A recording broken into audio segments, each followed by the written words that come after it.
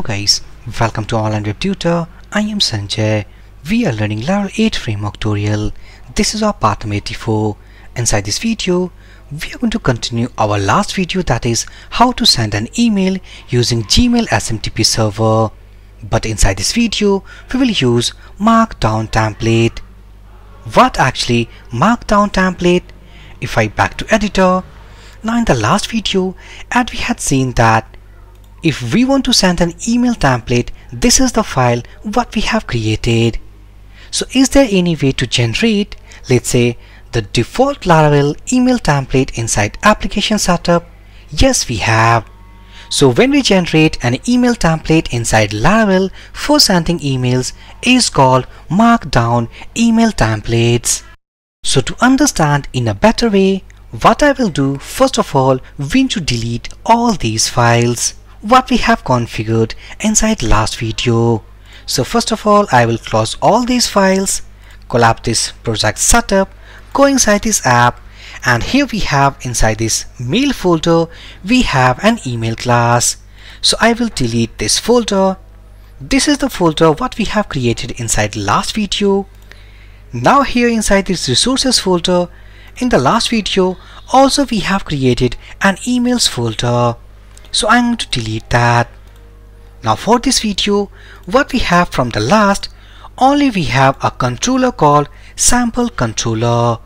Now inside this controller, we are using a test mail which does not exist because we have deleted. So let's remove all these codes from this video. We are going to see step by step.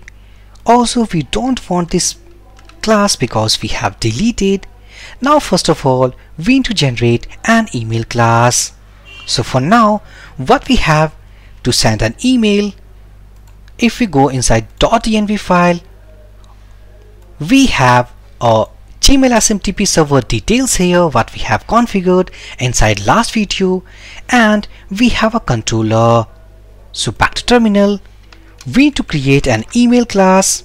So php artisan if I type help manual to open this make mail and here as we can see that we need to pass a name as an argument and that name is the name of the class. Now inside these options as we can see that we have a markdown flag. This markdown flag what it will do it is going to create a new markdown template for the mailable. It means that it is going to create a email template file. So how to use? Simply let's say php artisan make mail. Let's say that test mail is the name of the email class minus m either we can pass or simply minus minus let's say markdown equals to we want our template inside an emails folder so right now inside this resources folder, views folder, we don't have any emails folder. So we want to store our email templates inside our emails folder. So back to terminal, markdown equals to let's say emails. This is the folder name. Next, inside this folder, let's say that we want sample hyphen mail. So this command is going to create an email class which will be stored inside app folder and mail folder. Along with this command, it is going to create an email template that will be inside this emails folder and the file name is something sample-mail.blade.php. So if I press enter, mail created successfully, back to editor, reload this directory structure and as we can see that inside this app directory. Here we have a mail folder. This is test mail. And inside this test mail inside this build method this is the difference what actually we can get from last video. Inside last video we have here a view method.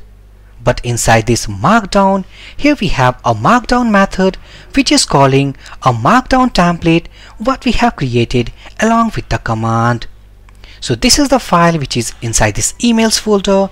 So go inside resources, views, emails folder and this is the file. In the next video also we'll discuss that how can we customize this mailable file. But for the time being, we to use this template to send an email. So back to sample controller. Let's say that we are going to create the same variable called details what we have created inside previous video. Let's say title.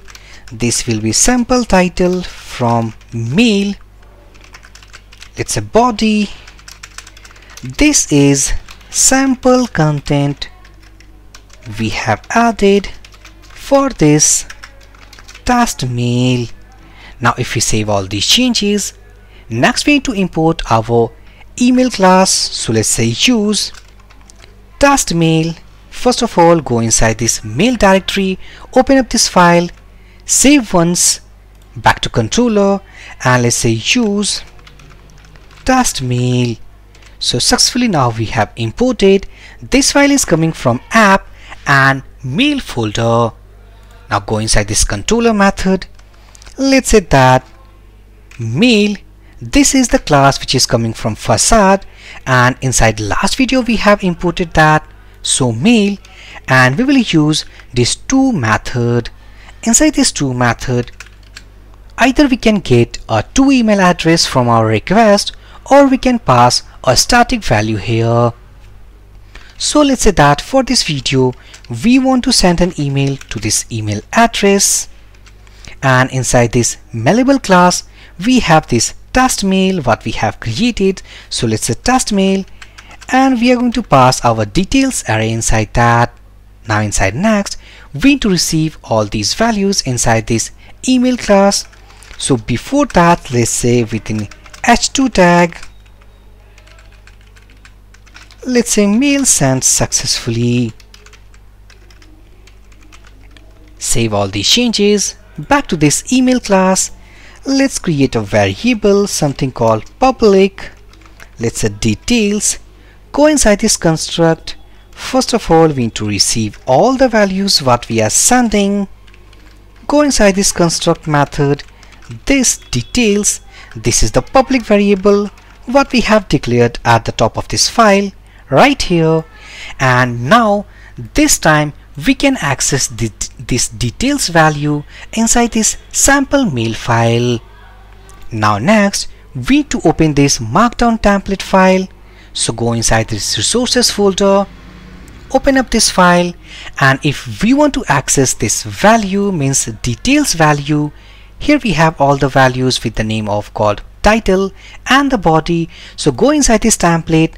Let's say that before this thanks or let's say inside this body I want to add a h2 tag. And inside this h2 tag we have our details array and inside this array we have let's say title I will copy and paste and in the next we have called details body now if we save all these changes Let's check one more time that all the things are correctly set or not. So here we have .env file, we have configured here. This is our sample controller. By the help of this controller, we will create a route. So if we go inside this routes folder, routes folder web.php so we need to call this send hyphen mail and this route is going to call this send mail method from this sample controller and inside this method we are calling our test mail email class and inside this this is going to use a markdown email template file and inside this email template file here are the values what we are sending from our controller. So save all these changes. Go inside this terminal. Let's start our development server. Back to browser. And if I type called send hyphen mail pressing enter. And here we have some error that is failed to authenticate. And as I think that in the last video we have misspelled all about the password. So to write the correct password back to editor. Open up the file called .env and inside this let's say your password. Now if we save all these changes back to browser. And before that if I go close this development server let's start one more time. Go and reload this page